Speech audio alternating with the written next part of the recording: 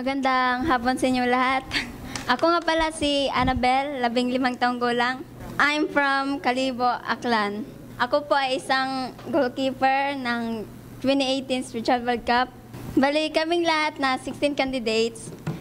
Naranasan namin ang paghihirap ng buhay, kagaya ng yung kasamaan ko, naranasan nilang mga lakal upang may may pangbaon sa paaralan. Naranasan nilang mamasura para may bigay para may may bigay sa kanilang pamilya upang may pang, pang upang may may pangbili ng makakain. Yung bali yung mga trabaho ng kanilang parents na mamasura lang. So ako po ay isang working student. Nagtatrabaho ako sa isang sa palengke sa ano isang restaurant. Mar- malaking tulong po yun sa akin dahil dahil dahil dahil nakadagdag ako upang maipangbayad sa school, may pambaon ako at may pang ma, may maipambigay ako sa nanay ko.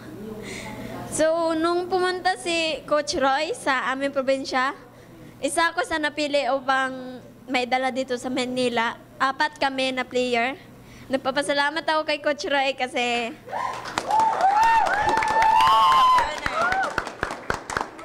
kasi nagkaroon ako ng tiwala sa sarili ko na kaya kong ibangon yung, yung pamilya ko sa kahirapan.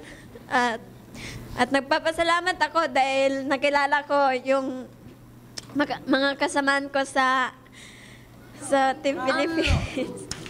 Masaya ako nung na, nag-tune up ang FAU at ang Team Philippines. Masaya ako dahil nakilala ko si Ate Joy, idol. Ah, isa po siyang player sa noong 2014 Spiritual World Cup. Isa po siyang goalkeeper. Um, may isa siyang sinabi sa amin na dumatak sa puso't isip namin na hindi pa ito yung huling journey namin, kundi ito pa lang ang umpisa. Kaya nung nung nag-cut off kami, masaya ako dahil isa ako sa napili na idala doon sa ibang bansa.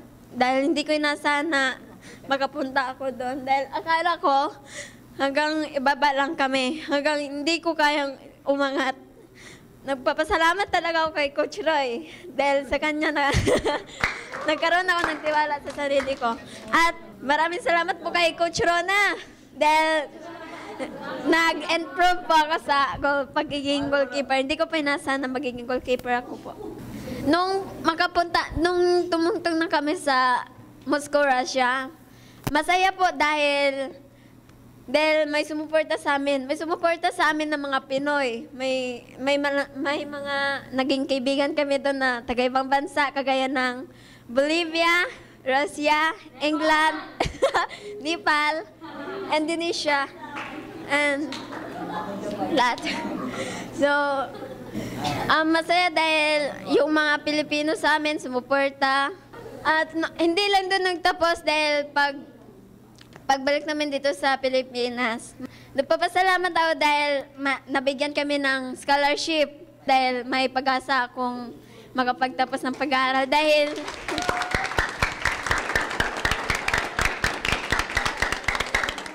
dahil gusto ko po talaga makatulong sa pamilya ko at may, may paaral yung, yung kapatid ko.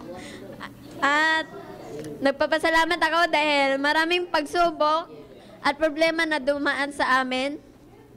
Pero nalutasan namin yun. Dahil at alam, alam ko na may mga problema pang darating sa amin.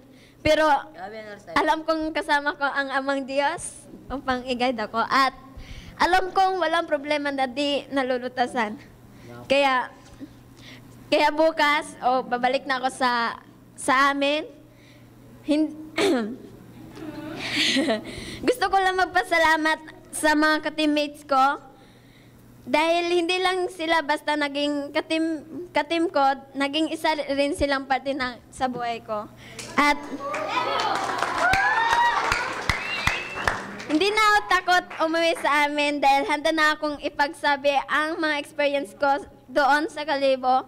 Sobrang, proud ako sa sarili ko dahil marami akong nabaon at sobrang handa na akong i-share ang experience ko sa mga batang nasa lansangan at ma-inspire rin sila. Hanggang doon na lang po at maraming salamat.